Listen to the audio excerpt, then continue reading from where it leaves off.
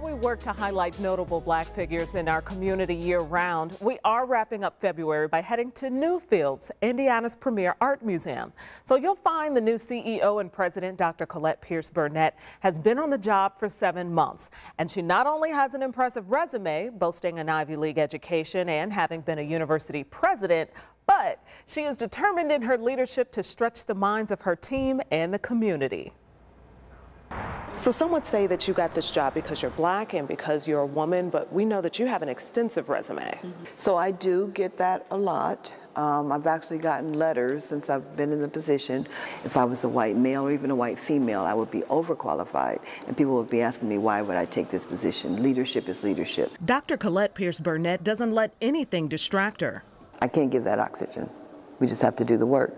Because if I start focusing on that, I can't focus on meeting the mission of Newfields. We're going to be that template cultural institution um, in a very, very grand way. For the seven months she's been president and CEO at Newfields, she and her team have been focused on that goal, despite COVID, America's social justice issues, and several PR crises.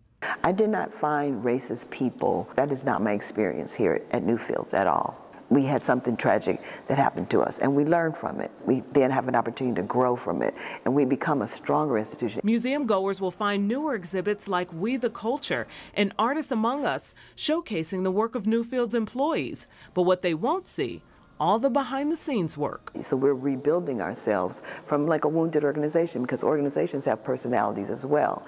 And the um, DEIA training that everyone, 90 plus percent of our staff went through, um, that's one step towards us becoming an anti-racist institution. But to understand why she's so confident in the museum's new path forward, you have to understand how this executive got to where she is today.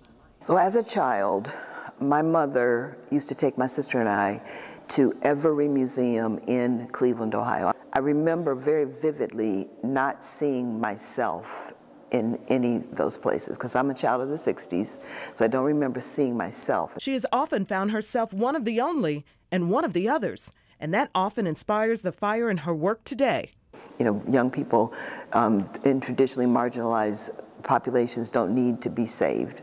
They need good books, good teachers, and exposure.